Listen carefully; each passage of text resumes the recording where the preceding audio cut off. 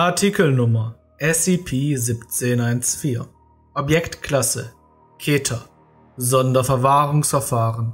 Ein einzelnes Exemplar von SCP-1714 ist in einem Standard-Aktenschrank aufzubewahren.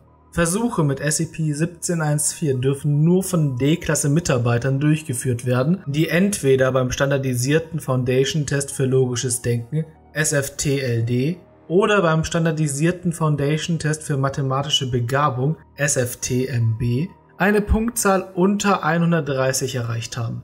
Versuche mit Subjekten, deren Werte oberhalb dieser Grenzwerte liegen, müssen zunächst durch den Forschungsleiter und mindestens einem Foundation-Mathematiker oder Wissenschaftler mit Freigabestufe 4 oder höher genehmigt werden Mitarbeiter der Foundation in der akademischen Gemeinschaft sollen Papers, Universitäten und Labore auf SCP-1714 hin überwachen, wobei Fakultäten für höhere Mathematik, Physik oder Philosophie besonders berücksichtigt werden müssen.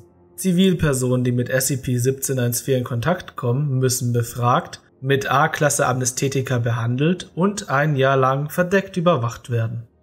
Beschreibung bei SCP-1714 handelt es sich um einen teilweise fertiggestellten mathematischen Beweis, der von Foundation-Mathematikern als logisch fundiert eingeschätzt wurde und versucht, einen mathematischen Rahmen für die Analyse realitätsverändernder Anomalien zu schaffen.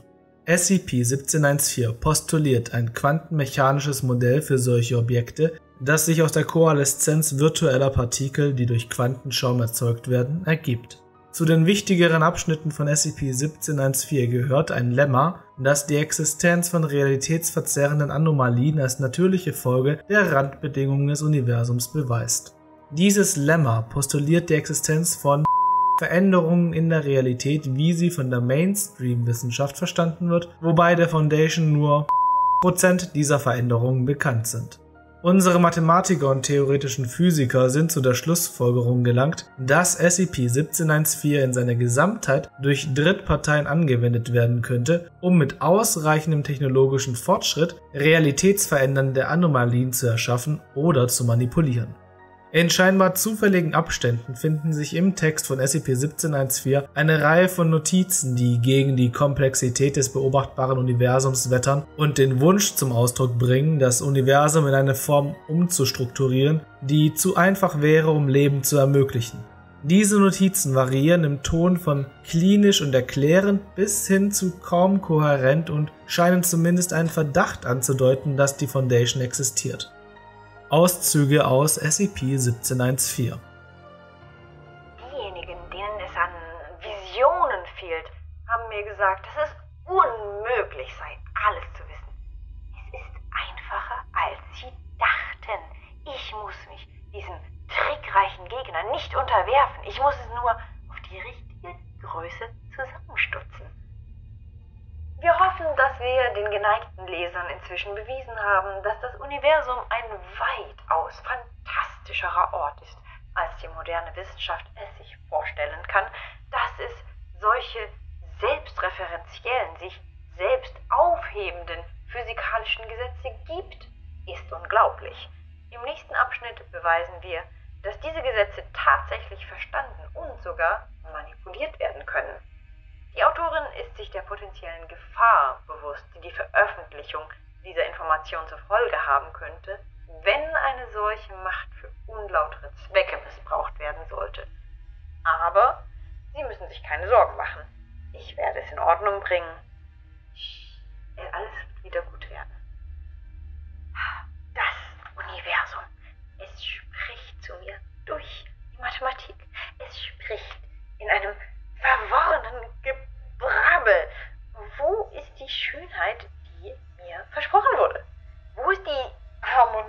Des Himmels?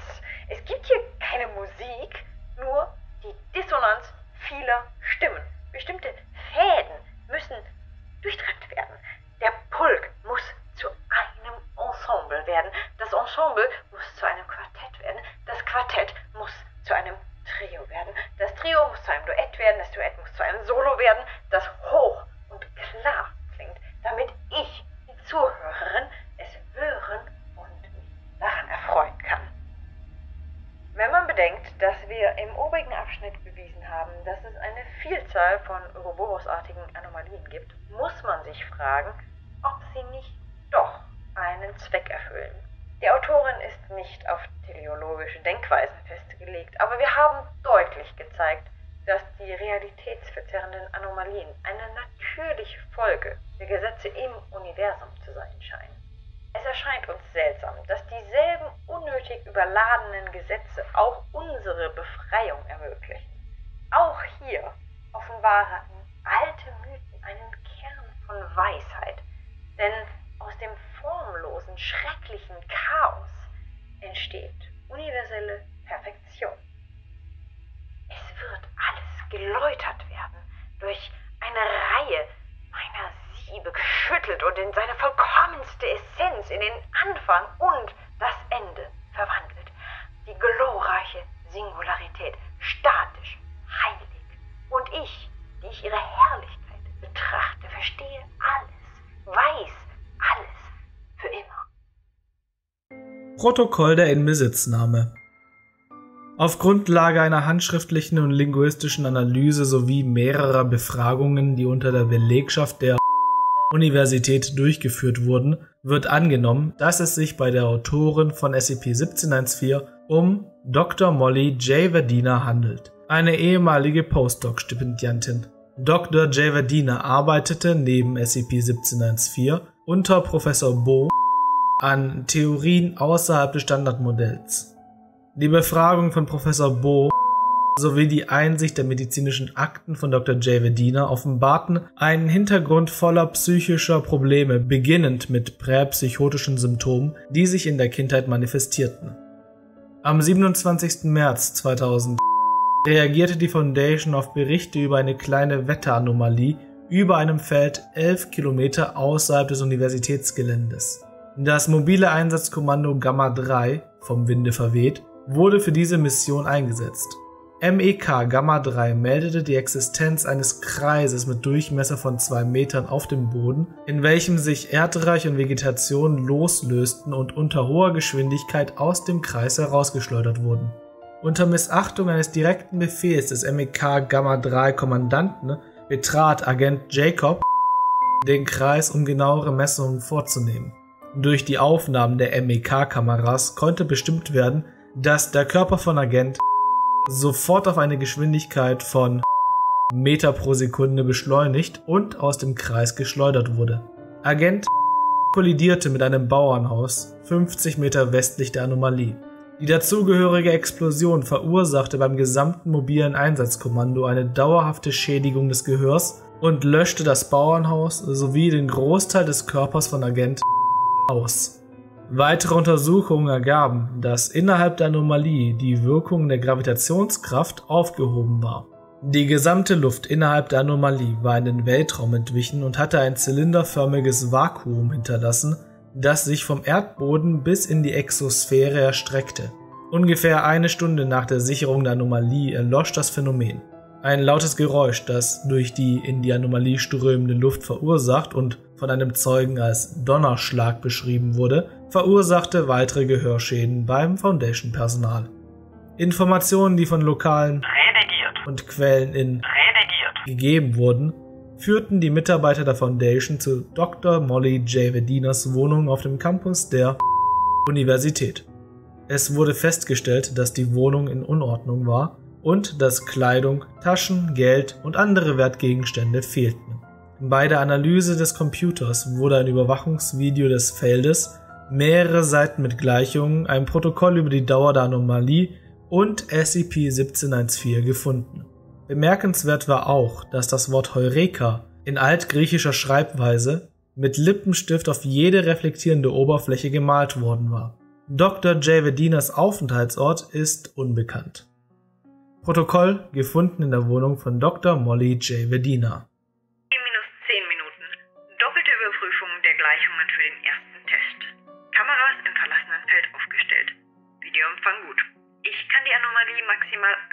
120 Minuten aufrechterhalten, bevor meine Berechnungen zusammenbrechen. Der Beweis ist noch nicht vollständig genug, um eine Änderung im größeren Umfang zu bewirken. T minus 5 Minuten. Einrichtung des Geräts.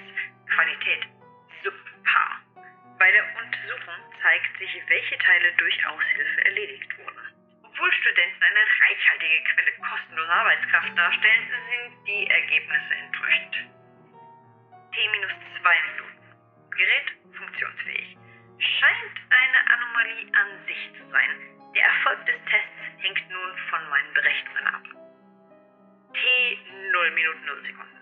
Wenn das Strahlen von tausend Sonnen aus den Himmeln brechen würde, es wäre wie die Pracht der Singularität. 15 Minuten 37 Sekunden. Die Anomalie ist stabil. Die Materie innerhalb der gravitationsfreien Zone verhält sich wie erwartet.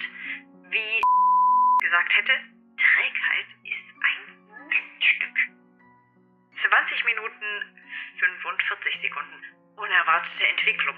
Ein paramilitärischer Trupp tauchte aus dem Nichts auf. Kann aus dem Verhalten schließen, dass sie zur Erforschung der Anomalie geschickt wurden. 21 Minuten 57 Sekunden, erster Todesfall. Andere agieren mit größerer Vorsicht. Scheinen das Gebiet sichern und Verstärkung anzufordern. 52 Minuten 34 Sekunden. Die Verstärkung ist eingetroffen. Hauptsächliche Wissenschaftler oder Forscher. Bemerkenswerter Mangel an militärischer Präsenz. Die Anomalie an sich scheint sie weniger zu verwirren, als man erwarten würde. 60 Minuten 14 Sekunden. Nicht die Regierung. Definitiv nicht die erste Anomalie. Erklärt Mangel an Wissen über die Ouroboros-Anomalie in der wissenschaftlichen Gemeinschaft. 66 Minuten 13 Sekunden. Irgendetwas stimmt nicht. 70 Minuten 24 Sekunden. Nochmal, ich wusste es. Diese gottverdammten Geierkapitalisten und ihre Hureningenieure. Das ganze verdammte Gerät muss auseinandergenommen werden. Der Rest des Protokolls enthält zufällige Zeichen, die auf ein Einschlagen auf die Tastatur mit geballten Fäusten hindeuten. Freigabestufe 3 erforderlich zum Fortfahren. Zugang gewährt. Datum 29. Juli 2010 Beschreibung Am 29. Juli, Jahre nach Dr. Javedinas Verschwinden, beobachteten Astronomen der Foundation verschiedene Anomalien, die das System betrafen, das sich etwa Lichtjahre von der Erde entfernt befindet. Aufgrund der Art dieser Anomalien wird vermutet, dass sie das Ergebnis der kontinuierlichen Verfeinerung von SCP-1714 darstellen. Das folgende Beobachtungsprotokoll enthält Einzelheiten zu den beobachteten Veränderungen im System. 0 Minuten. Die Exoplaneten A, B, C, D und E weichen von ihren üblichen Umlaufbahnen um ab und bewegen sich in dieselbe Rotationsebene. 0 Minuten 37 Sekunden.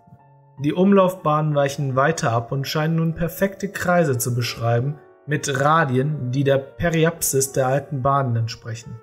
Die Masse von oder der Exoplaneten scheint sich nicht geändert zu haben. Es konnte beobachtet werden, wie das magnetische Feld von auf die Planeten einwirkt. Eine Minute 30 Sekunden. Objekte innerhalb des Systems, die nicht der Stern selbst oder einer der zugehörigen Exoplaneten sind, verlieren plötzlich ihre Masse und beschleunigen mit Lichtgeschwindigkeit aus dem System heraus.